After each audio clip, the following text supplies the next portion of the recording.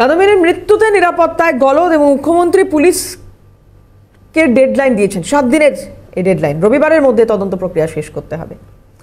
ইতিমধ্যে সিটের যে সদস্য সংখ্যা, সেই সদস্য সংখ্যা বাড়ানো হয়েছে। কোথাও কি মুখ্যমন্ত্রী বা রাজ্যের পুলিশ মন্ত্রীর বক্তব্যে এটা সামনে আসছে যে তার নিজের দপ্তরের উপরে তারই ভরসা থাকছে না? কেন সিবিআই তদন্তের কথা উনি বলছেন? সময়, যে সীমিত সময় দেওয়া হয়েছে, কেন এটা মনে করা কি কোনো কারণ তৈরি হচ্ছে যে তার মধ্যে অপরাধী বা তদন্তের একেবারে শিকার পর্যন্ত পৌঁছানো সম্ভব হবে না। কেন এইগুলো মনে হচ্ছে এবং এই মহিলা চিকিৎসাকে দর্শন খুনের ঘটনায় আরও কেউ জড়িত কিনা, সেই কথা কোথাও যেন মুখ্যমন্ত্রীর কথাতেই গতকাল আরও স্পষ্ট হয়েছে। রুরাল নাম্বারে বলছেন, দোষীরা। শুভজিৎ আমাদের প্রতিনিধি রয়েছেন। শুভজিৎ আপডেট নেব।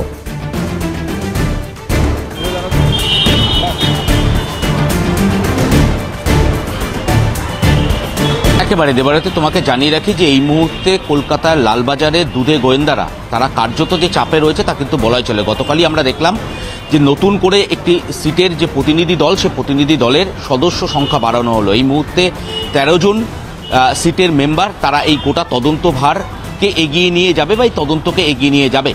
কোথাও গিয়ে এই মুহূর্তে নতুন করে যে চাপ বাড়ছে, এই তরুণী চিকিৎসকের মৃত্যুর ঘটনায়। তা কিন্তু বলাই চলে। এই মুহূর্তে কলকাতা পুলিশের আধিকারিকরা তারা একাধিক এভিডেন্স কালেক্ট করেছেন।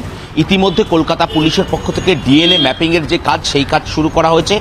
অর্থাৎ এই মুহূর্তে কলকাতা পুলিশের আধিকারিকরা তারা মনে করছেন যে এই যে ঘটনা, সেই ঘটনার পেছনে এক না একাধিক ব্যক্তি জড়িয়ে রয়েছে, সেই বিষয়টি কিন্তু নিশ্চিত হতে হবে। গতকালও আমরা দেখেছি মুখ্যমন্ত্রী মমতা বন্দ্যোপাধ্যায় তিনি একেবারে টাইম লাইন বেঁধে দিয়েছেন, আগামী রবিবারের মধ্যে গোটা তদন্ত প্রক্রিয়া শেষ করতে হবে। অর্থাৎ কোথাও গিয়ে একদিকে যেরকম কলকাতা পুলিশের আধিকারিকদের ওপরে এই মুহূর্তে চাপ বাড়ছে, সিটির সদস্য সংখ্যা বাড়ানো হলো এবং শুধু তাই নয়, সহকারী হিসাবে আরও পঞ্চাশ জন পুলিশ কর্মী তারা কিন্তু এই ঘটনার তদন্তের সঙ্গে প্রত্যক্ষভাবে জড়িয়ে থাকবেন।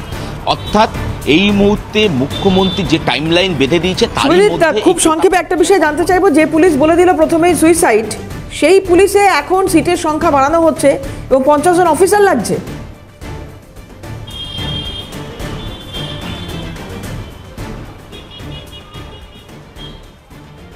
একেবারে একেবারে দেখো মুখ্যমন্ত্রী কোথাও গিয়ে যে টাইমলাইন বেঁধে দিয়েছে এবং শুধু তাই নয়, তোমাকে যেমনটা বলছিলাম যে কোথাও গিয়ে এই মুহূর্তে পুলিশ কর্মীরা তারা মনে করছেন যে দাবি ছাত্রদের তরফ থেকে করা হচ্ছে নার্সিং স্টাফেদের তরফ থেকে করা হচ্ছে জুনিয়র ডাক্তারদের তরফ থেকে করা হচ্ছে, যে এই গোটা ঘটনার সঙ্গে এক নয় একাধিক ব্যক্তি জড়িয়ে রয়েছে এবং সেই জায়গা থেকে দাঁড়িয়ে এই একাধিক ব্যক্তিকে চিহ্নিতকরণের জন্যই মূলত গতকালই আমরা দেখেছি যে ডিএনএ ম্যাপিংয়ের যে কাজ, সেই কাজ দ্রুত সম্পন্ন করার চেষ্টা করছেন। অর্থাৎ যে সিমেন্ট ইতিমধ্যে কাদম্বিনীর শরীর থেকে কালেক্ট করা হয়েছে, সেই সিমেন্ট পরীক্ষা করে দেখতে চাইছেন গোয়েন্দা বিভাগের আধিকারিকরা যে সেখানে এক- একজন ব্যক্তি সিমেন্ট রয়েছে, নাকি একাধিক ব্যক্তি সিমেন্ট রয়েছে। যদি একাধিক ব্যক্তি সিমেন্ট থাকে, সেক্ষেত্রে কোন কোন ব্যক্তিকে ইতিমধ্যে তারা আইডেন্টিফাই করতে পেরেছে, যাদের ডিএনএ স্যাম্পেল কালেক্ট করা হবে।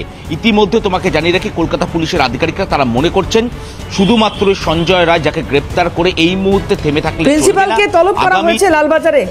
লাস্ট যে প্রশ্ন তোমার কাছে রাখতে চাইব খুব সংক্ষেপে। প্রিন্সিপালকে তলব করা হয়েছে। লালবাজারে